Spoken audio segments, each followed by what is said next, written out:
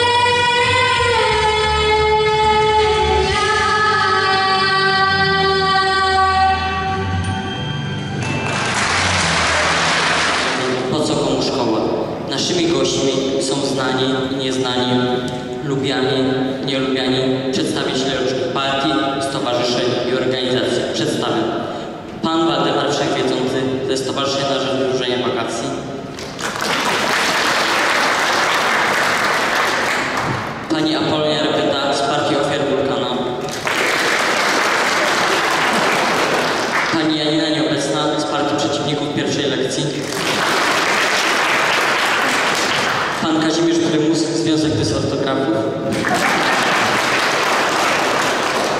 Pani Genowefa Pierwsza, Koło Przyjaciół 6, numerka i ostatniej ławki.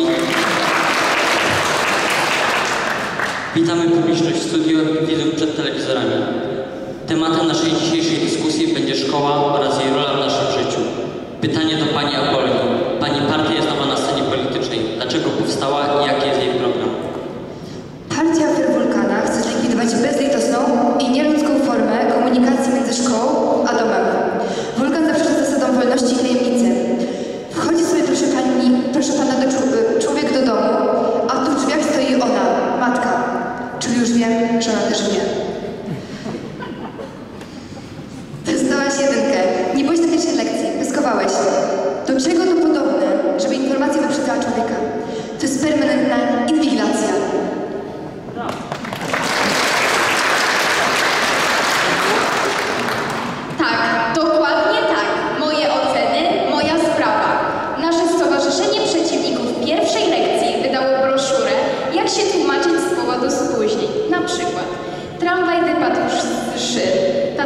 zapomniał kluczy do domu.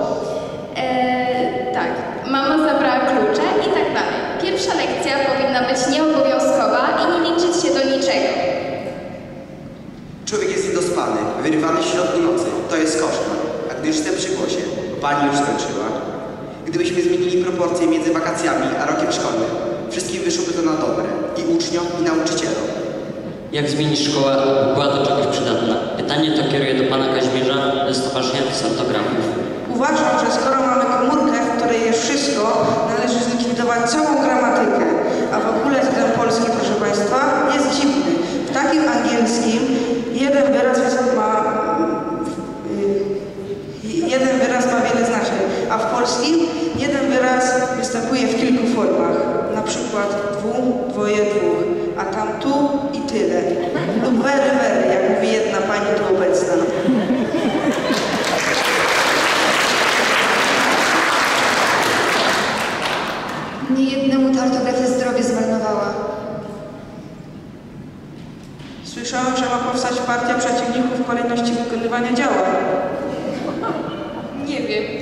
chcę wiedzieć. Nas żegnujecie dawać i odejmować. To wystarczy w sklepie. Se dodam i se oddam.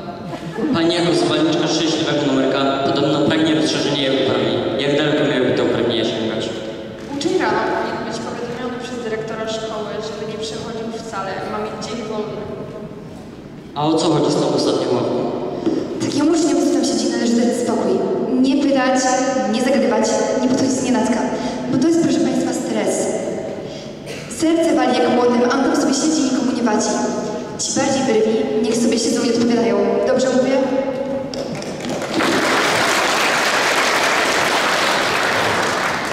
Może oddajmy głos publiczności. A weźmy na przykład taką chemię. Wszyscy mówią, że chemia jest wszędzie i we wszystkim. To po co jeszcze w szkole? A geografia? Proszę pana, czy ja nie wiem, gdzie jestem? A jak nie wiem, to sobie wystąkami już wiem. A historia? Można sobie zaśpiewać, ale to już było i nie wróci więcej. Mało tego, ważne są tylko te dni, których jeszcze nie znamy. A biologia, tak jak prawo dziedziczenia. Odziedziczyłeś, to odziedziczyłeś. Nic z tym, proszę pana, nie zrobię. Rodziny się nie wybieram. No ale szczytno fizyka. Jak coś stoi, to stoi. Jak leci, to leci. I po co mi wiedzieć dlaczego? To przesada. A plastyka, muzyka? Jak to mówił, jak ci Pan Bóg talentu nie da, to wyjesz i będziesz miał. Bo homa zamalujesz i nic z tego nie zmieni. A WF co z nim?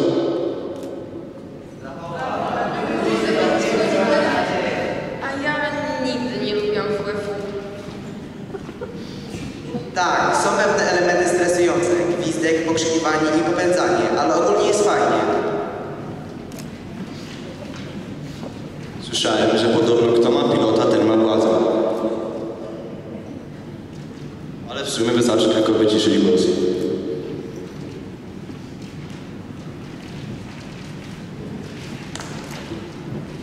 Drodzy Państwo, zwracam się do nauczycieli, ale też do Was rodzice i do Was uczniowie klasy siódmej. Nie ukrywam, do niedawna też tak myśleliśmy, ale teraz, już prawie absolwenci, inaczej patrzymy na to, czego dalej nam było jako uczniom